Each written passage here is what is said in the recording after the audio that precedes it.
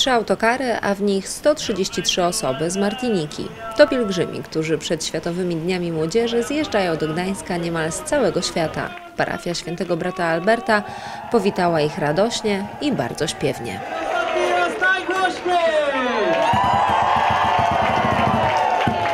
E, Już wczoraj odwiedzi, e, przyjechali do nas Włosi. To była mała grupa, ponieważ tylko 28 osób, a wieczorem około godziny 20-21 przyjadą jeszcze pielgrzymi z Francji.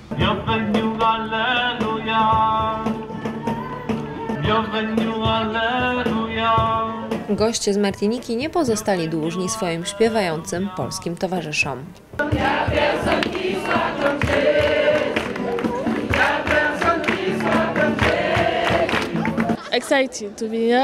Jestem podekscytowana, że tu jestem. Powitanie było cudowne. Jestem szczęśliwa. Myślę, że odkryjemy tu wiele interesujących rzeczy. uh, Wierzę, że odwiedzimy uh, kościół w Gdańsku, będziemy rozmawiać z rodzinami i będziemy odkrywać to miasto. uh, Jestem szczęśliwa, że tu jestem.